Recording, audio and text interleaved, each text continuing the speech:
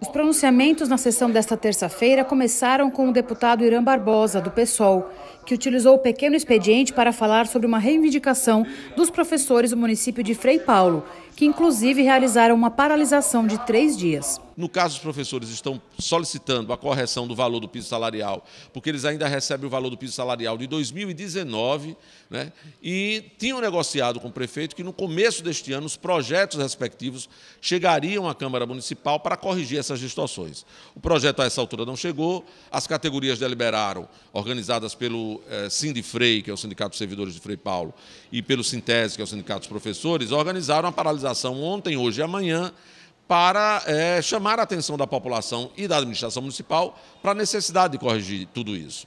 E hoje eles estiveram aqui, eu fiz um pronunciamento relatando a situação, conseguimos uma reunião com o presidente da Casa, o deputado Luciano Bispo, que se prontificou a mediar também esse problema junto ao prefeito da cidade de Frei Paulo, e nós esperamos que essa questão seja resolvida para que nós tenhamos uh, os servidores com seus direitos respeitados. Há, inclusive, uma ameaça, isso foi confirmado até pelo próprio secretário de Educação, com quem estive no dia de ontem, de que haverá corte de ponto por causa dessa paralisação. Uma medida que, no meu entendimento, é extremamente severa, para uma administração que é quem deve aos servidores. Né? E quero lembrar que, se corta o ponto do professor, por exemplo, ele vai criar um outro problema.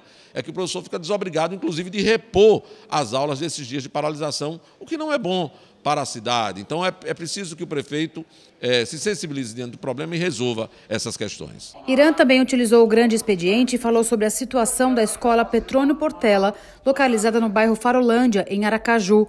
De acordo com o parlamentar, os alunos estão sem aulas por falta de professores. É lamentável que as escolas tenham ficado tanto tempo fechadas, é lamentável que ah, o ano letivo tenha sido anunciado para se retomar e você não tenha tido o mínimo de planejamento, porque, por exemplo, ontem o protesto foi feito por alunos do Colégio Estadual Ministro Petrônio Portela, que se localiza ali no, no bairro Farolândia, no Conjunto Augusto Franco, aqui na capital, e lá os alunos anunciavam, por exemplo, que o quadro de professores, as horas aulas do currículo ainda estão incompletas, eles não têm todos os professores ainda, não tinham ali não tem alimentação escolar sendo oferecida porque não tem merendeiras para fazerem, ah, manusear os alimentos e fazerem alimentação escolar. Tem problema na estrutura da quadra, é uma série de questões. Faltam livros didáticos, nem todo mundo tem os livros didáticos para estudar. Quer dizer, coisas básicas para o funcionamento né, do ano letivo não foram providenciadas. A Secretaria precisa corrigir isso com urgência. A deputada Maria Mendonça, do PDT, falou sobre um campeonato de futsal feminino que reuniu atletas de 12 municípios. A parlamentar destacou a participação da mulher em atividades esportivas. A Federação Sergipana de Futsal realizou um grande evento com a participação de 12 municípios e lá foi assim glorioso o resultado, né? É, vários várias participantes, é, a força da mulher no esporte, isso é muito importante. Então, parabenizar o Josué, que é o presidente da federação e que realizou essa competição tão importante.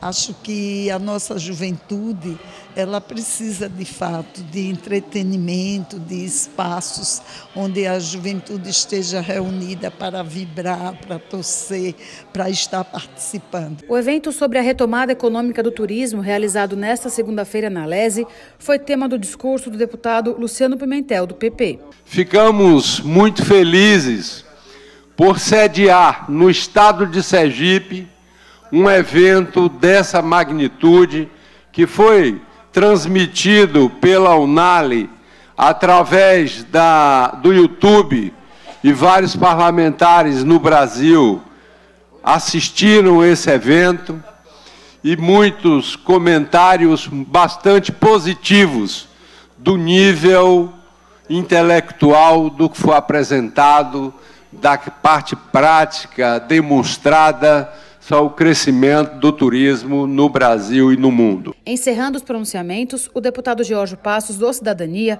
repercutiu uma investigação da Polícia Federal sobre o consórcio Nordeste, criado para a compra de equipamentos durante o período da pandemia. Hoje nós fizemos questão de registrar na tribuna uma operação da Polícia Federal que está acontecendo em alguns estados, envolvendo o consórcio Nordeste, aquela compra de respiradores, que é uma pauta que a gente está aqui nessa Assembleia há muito tempo falando, cobrando. Esperamos que a Polícia Federal possa identificar o quanto antes quem deu esse prejuízo milionário aos estados nordestinos.